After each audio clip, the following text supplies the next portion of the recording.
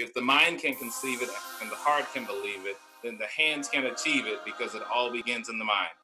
There's so much value in kindness and so much value and, and, and, and it takes really like nothing and hardly any effort to extend kindness but the person who receives it always remembers it more than the person who, and it sticks in their in their brain this new generation that's coming up this they're not standing for all the bs that happened in the past they're marching they're doing so much and it makes me so proud because it lets me know that our country is going to be in good hands going forward and they're just not putting up with that. They they're just amazing, and I, I love seeing that, and I, I love I can't wait to see what they do next. The world just needs more love and more kindness. We've been saying this for forever, but more than ever now we need it because it's just that's what's wrong with the world right now. It just all boils down to unkind people and people who do not do not love.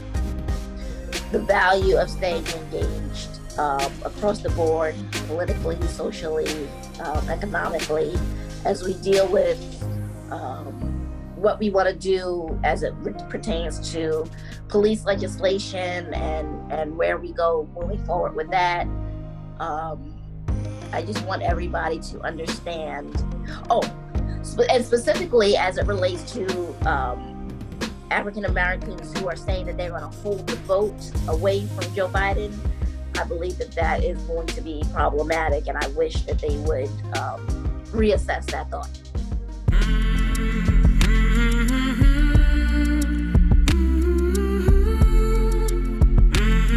Always great to see people who were raised right.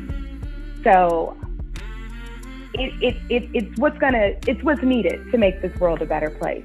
So I think that just reminds us all how important it is that even some people who have kids and some people who don't, we all have the opportunity on a daily basis to coach and train and encourage a young person or an older person how to do things the right way to just learn and be different. So I'm gonna I'm gonna take that away and I'm gonna pass that along. So first off, I just want to say thank you guys so much for letting me be part of this. I think this is an amazing show and it's an amazing space filled with very intelligent Black people, and I just love seeing Black intellectuals talk and discuss. So thank you so much for being uh, letting me be part of it. I think it's pretty amazing that uh, when you least expect it, humanity can really surprise you. As always, we thank you for watching and ask that you join us again when next we speak. Mm-hmm.